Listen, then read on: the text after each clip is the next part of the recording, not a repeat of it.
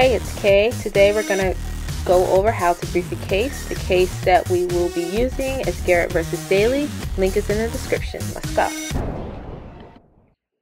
Alright, so on the left I have a PDF of the case Garratt versus Dailey, which I downloaded from Google. This is the full case. Most likely your textbook will have a shorter version of this case. On the right, I already started out with the outline of my case brief, which starts with the name of the case. Then you have the facts, procedure, issue, holding, reasoning, disposition, dissent, or concurrence if it's included, and class notes. So first, the information um, that you should start with is the chapter and section name. This will help guide you and narrow your focus to what issue you should be focusing on in the case. Now, I use different colors to represent the different parts of my case, and um, this is something I do when I'm briefing a case using the hard copy of the textbook as well.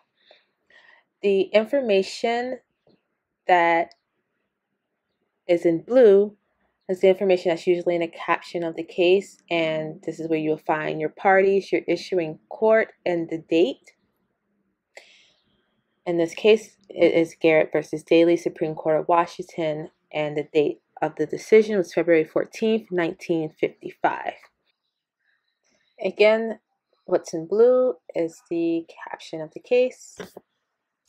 And now we will start with the facts, which are highlighted in purple. So the facts, sometimes there are lengthy descriptions of the facts of the case and you may not need all of those details. So you want to look at the details that explain why the case is in court right now. So what gave rise to the cause of action.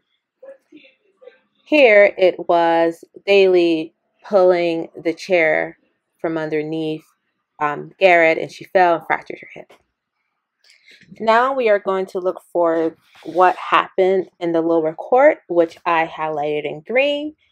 I use green to represent the procedure. Here you want to know what the lower court, the trial court, maybe the district court, what were their findings.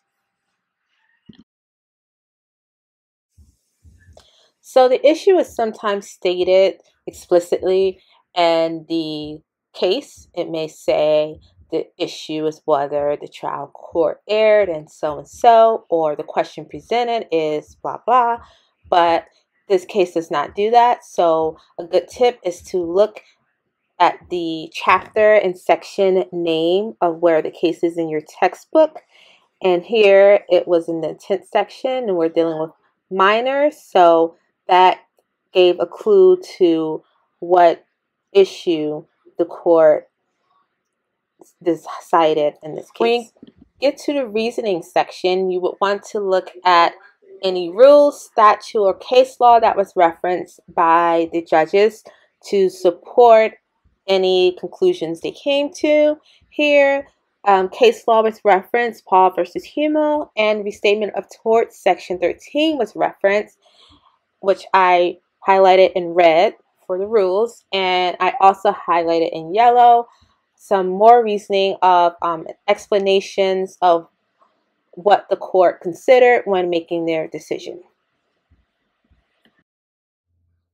The disposition is how the court disposes of the case, and usually the court affirms, reverses, or remands the case some cases the case is dismissed.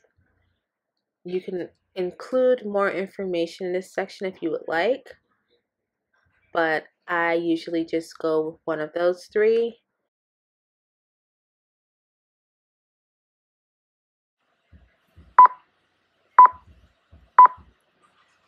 I also add information on the dissent or concurrence if it's included if it's not included, which is the case here, then you can leave that blank. I also put class notes. Alright, that concludes this tutorial on how to do a case brief. Thanks for watching. Don't forget to like and subscribe below.